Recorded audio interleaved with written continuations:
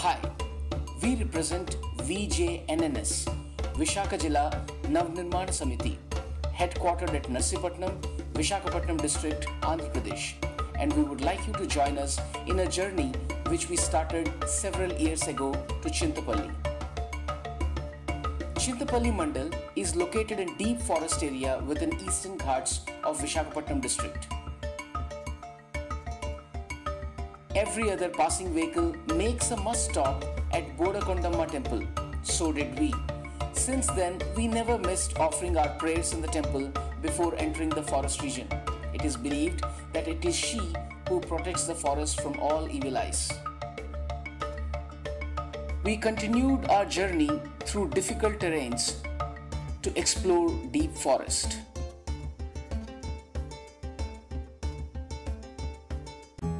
Observed beautiful landscapes matching nothing less than Kashmir with a display of pleasant meadows and enchanting cascades.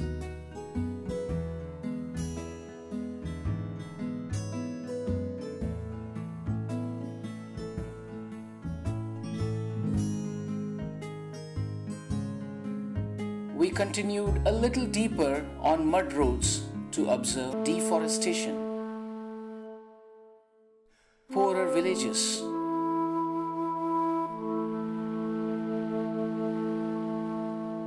Less care for children. And the worst of all, water situation. Girl child carrying head loads of water made us to go a little more deeper. The natural oozes or springs were the only water source for these villagers. Absolutely unaware of any filtration method, people would collect spring water in whatever state it is. This water coming out of the cracks within hills are perennial sources and are available throughout the year. Water turns out murky during monsoons, and people have no choice than to collect this water for their daily consumptions.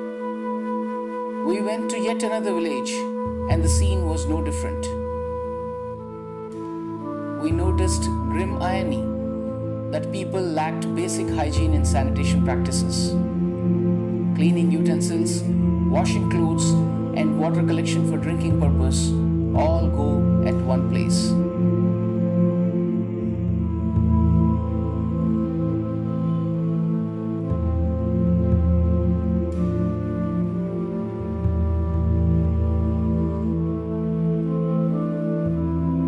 We did not stop there. We went to yet another village. People here collect water straight from the source, unmindful of the contamination. Poor ladies track a long distance spanning hilly region carrying heavy head loads. We went to several other villages and we were surprised to see every other village had same problem people consuming contaminated water, child labor, heavy head loads, broken spring sources, unused borewell because of high iron content, and inefficiently built water systems were at large. But we had a solution for this problem. Gravity fed water supply system GFWSS. VJNNS, who has worked with several national and international donor organizations, approached them again with a proposal to build a self sustained water supply system and initiated a program called Niru Arogyam, meaning water and better health. It brought water to doorsteps. Needless to say, villagers got what they deserved what they've been looking for ages. Filtered spring water was made available for direct consumption.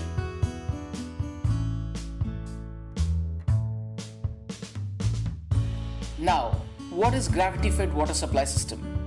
It's a system comprising of a source tank, a filter cum distribution tank, pipelines, and stand posts. Source tank, also called as collection tank, would collect water from perennial source and would pass the same to filtration system. Filtration tank, usually 3 chambered, would filter the water using reverse filtration and slow sand filtration to be further passed on to the distribution tank built according to the need of the village. Stand post located at street level supplies water 365 days 24 bar 7 without any need for any external power source. Let's hear what the world has to say about it. They are working in very very remote parts of Vishakhapatnam, tribal areas where the uh, communications, the transport facilities, every infrastructure facilities are very very poor. So in such a situation, they are working for many years. They have been uh, focusing on uh, gravity-based water supply system, which is very low cost and uh, no energy requirement and almost uh, maintenance I think the present work what they are doing is very good and it needs to be done in many more villages in this area. I think there are more than 100 such villages which badly need a, a proper water supply system. Hi, Amitanshu. Hi Karthik. So I had a great trip and thanks to you for making it happen. And uh, it was looking at uh, water supply system in, in very harsh terrains, very difficult places where accessing water is not easy.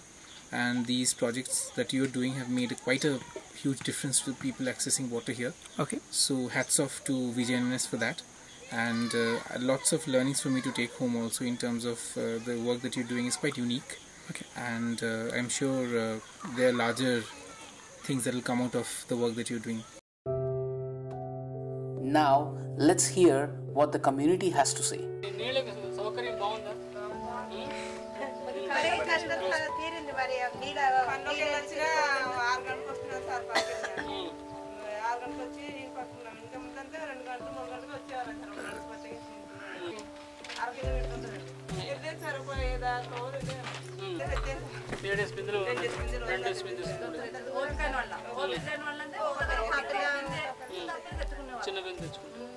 పడ్డాం బాబు. ఇప్పుడు నీళ్ళు తెచ్చుకోవడానికి ఇప్పుడు సుఖం అనుభవిస్తాం. ఆకు చేసుకోవడానికి చేసుకోవాలి.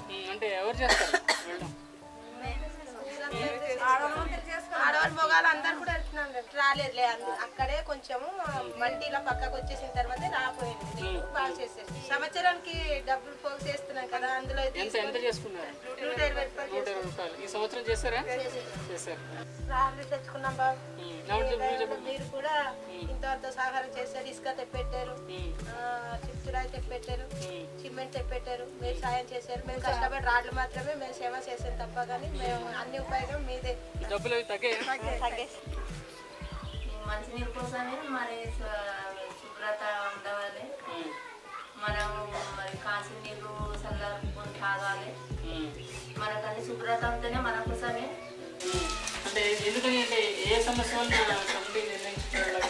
ఏ సంవత్సరాల నీరు మరి ఇలాగే వాడేస్తే మనకి ఎండాకాలం మరి ఆ, ఒక తక్కువ వస్తున్నాయి సార్ ఒకవేళ ఆగిపోతున్నారు అనేసి అలా చేసుకున్నాము నీరు ఇబ్బంది ఉండాలి ఇలా కాకుంటే అనేసి అలా చేసుకున్నాము. This video won't complete if we don't reveal the brain behind VJN's success. Mr. Parth Sarthi, the man, the machine, the thought behind gravity fed water supply system. The man who wouldn't begin his points without why because. Needless to say, Mr. Parth Sarthi is the untiring soul behind GFWSS. GFWSS is nothing but his brainchild. and the total system uh, is of zero maintenance. Whatever may be the maintenance we required is we have to remove this cum which forms in course of time. If it is too thick, can can be scrapped, or sometimes the entire filter media can be built out and dried again we can. That is the only thing required and so the maintenance is zero for the in- intake or for outtake. The power consumption is zero again. the water must be continuous.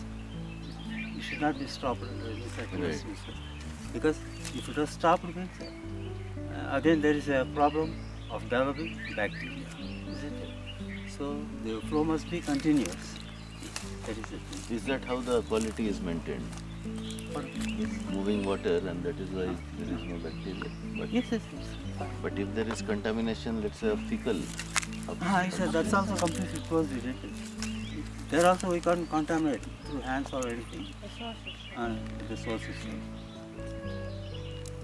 And the flow is through pipes. through pipes. But this filter, what does it take care of? Is it only bacterial or uh, Uh, generally, it works and Chemical. filter, yeah, so the impurities and biological impurities. That's chance of contaminating anywhere from the beginning till the end. it's covered? Yes, completely covered. Last but not the least, VJNNS staff would like to thank all our supporters from across the world. Thank you for being our strength in achieving what we have done so far, and we hope to receive similar support in future for us to extend our reach to newer areas. Thank you once again.